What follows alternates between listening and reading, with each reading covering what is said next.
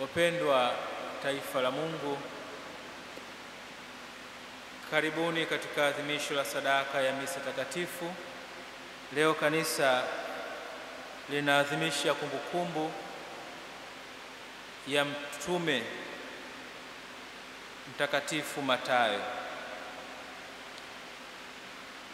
Yesu alipomwita Mathayo kwa mara ya kwanza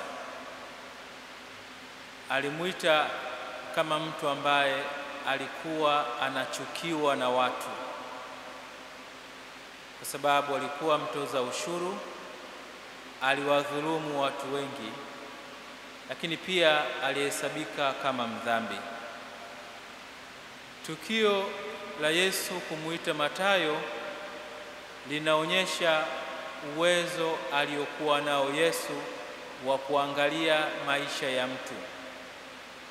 Yesu anaweza kuangalia maisha ya mtu sio tu vile alivyo au vile alivyokuwa, lakini pia hata vile atakavyokuja kuwa siku za mbeleni. Ndani ya Mathayo, Yesu alimwona Mathayo licha ya vile alivyokuwa, alimwona hata vile ambavyo atakuja kuwa siku za mbeleni. Leo hii Mathayo tunamshangilia na kumsifu na kumwomba tuombee. Nafikiria tungepata wapi injili ya Mathayo kama sio yeye? Sisi wanadamu, licha ya kwamba hatuna uwezo wa kuona maisha ya mtu kama alionao Bwana wetu Yesu Kristo, ninawaalika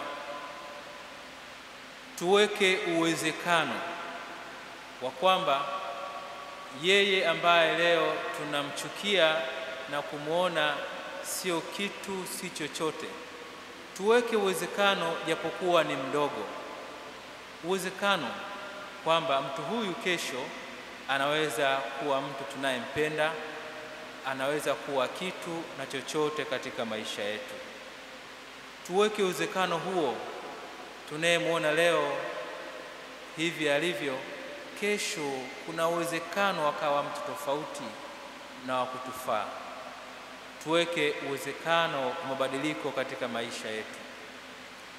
Tumwombe Mtakatifu Matayo mtume atuombee kwa Mungu, tuenende kama wito wetu unavyotuita, unavyotuasa, tukichukuliana kwa upole, uvumilivu na upendo, kama ambavyo Mtume Paulo anatuasa katika somo letu la kwanza.